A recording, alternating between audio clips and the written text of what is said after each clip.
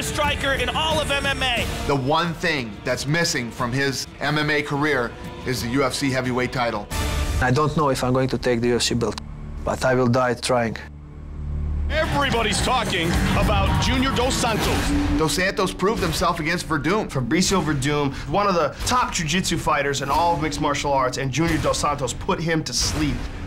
I'm excited for this fight. I'm looking forward to fighting a legend like Mirko Cro Cop. Stefan Struve was his next opponent, blasted him away very quickly too, and we know right away that Junior Dos Santos is a force to be reckoned with in the heavyweight division.